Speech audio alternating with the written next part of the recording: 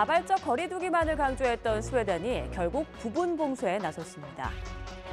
그동안 정부 차원의 강제 조치가 없던 스웨덴에서 야간 주류 판매 금지 정책에 이어 공공장소 모임 인원 제한까지 대응을 강화하고 있습니다. 하지만 마스크 착용이나 다른 봉쇄 조치는 이루어지지 않아 실효성에 의문을 품는 목소리도 나옵니다. 현재 소식을 이키아라 리포터가 전해드립니다. 전면 봉쇄에 나선 다른 유럽 국가들과 달리 자유로운 분위기인 스톡홀름 중심가. 여전히 시민의 자율적 방역에 맡기는 스웨덴에서는 마스크를 끼지 않은 사람들이 쉽게 눈에 띕니다. 이런 상황에 최근 스웨덴의 일일 신규 확진자 수는 상반기 최고치보다 두세 배 넘는 규모로 가파르게 증가하고 있습니다. In the beginning, it was a good idea uh, how to handle, according to the special Swedish culture, how we handle things in Sweden. After uh, half a year, summer it up, I think it was a bad handle because the amount of infection and the amount of death. 병원마다 환자가 몰리면서 중환자실에서 코로나19 치료를 받는 환자는 일주일 만에 두 배 이상 늘어났습니다. 끝모를 재확산 분위기에 시민들의 불안은 커질 수밖에 없습니다.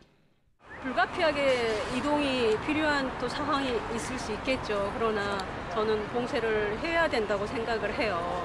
그 경각심이 없이 자율에 맡기다 보니까 이동을 하면서 확진자가 더 늘어났고요. 결국 스웨덴은 코로나19 발생 후 처음으로 부분 봉쇄에 나섰습니다.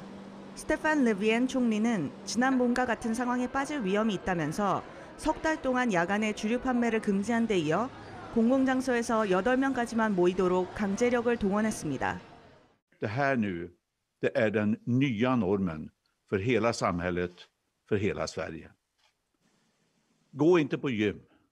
Gå inte till bibliotek. Ha inte middag.